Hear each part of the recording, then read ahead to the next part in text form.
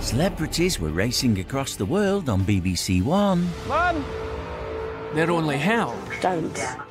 They're nearest and dearest. See, we would end up definitely in a physical fight if we went on race across the world.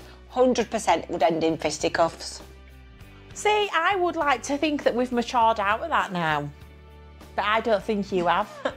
I don't think you have. I have. I definitely have. You haven't.